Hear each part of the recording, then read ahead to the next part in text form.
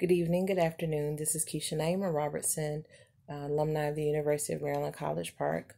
Um, today I'll be performing a piece entitled Uncommon Overcomers. And this is a piece that I originally drafted. My people are diverse, tall and short, thick and thin, healed and broken. We are a contrast of light, dark, and everything in between. We are born to shine, though our glow is sometimes hidden in that which we would rather forget. God blankets us with omnipresent vision, seeing our past as problematic to our present only when we do not repent in alignment with the forgiveness that has already been bestowed from heavenly places through mercy, grace, and anticipatory atonement. We are a grateful people who dance in the sand of deserts with feet unburned by its heat. Adversity can be a vast wilderness whose boundaries can begin and end in a number of places, but particularly those known as Satan's playground, so we mustn't sit idle. As we are children, of the I am, believers who do not falter permanently to the paths of sin and its foreboded detriment. We get up and figure out how to be still while standing on the word of God and moving forward without apology. We do not give up no matter how long we've been backsliding because Satan's backbiting is not a temptation but a challenge to do better. Overcoming that which is meant to break our spirits, yet we use it to build the muscles of our back when pressed against the walls of modern day Jerichos made of bricks graffitied with the likes of self hate, microaggressions, profiling by race, and the killing that occurs because of it. In our carnal capacity, we find our strength inadequate.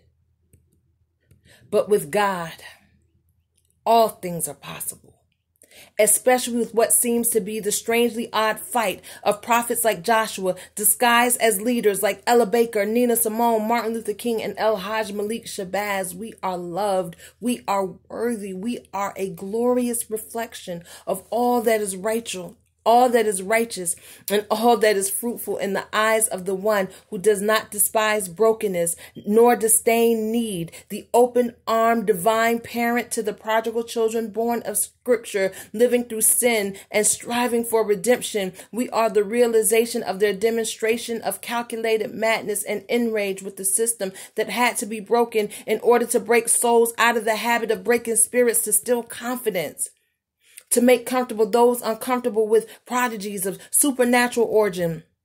Our worldview and paradigms must be more inclusive of the many faces that grow out of the shape shifting spirit endowed to us by a limitless God who shifts shapes to form in seven shifts, a world shaped to yield practice and reconciliation through multiple incarnations a supreme being who relishes in seeing us emulate that which man could not take credit for because the syllabus and coursework is inscribed in astrological braille and cannot be seen except by a third eye heightened by metaphysical fingers that turn pages back and forward through the historical lineage that start and end with the alpha and omega in unison as the armageddon of then becomes the genesis of now. And that is the power that makes a renaissance of innocence.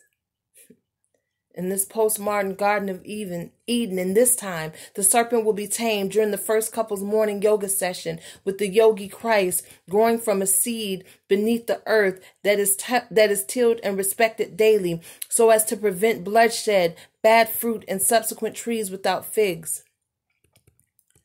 There can be a more amenable way to restoration, and that is why we grow uncommonly whole with each leap of quantum faith into a space beyond the certain pain we've known. As a people, we are gifted, bold, beautiful, and abundantly filled with melanin and the sunshine that cannot be covered by clouds or completely destroyed in storms. We are uncommon overcomers. Thank you.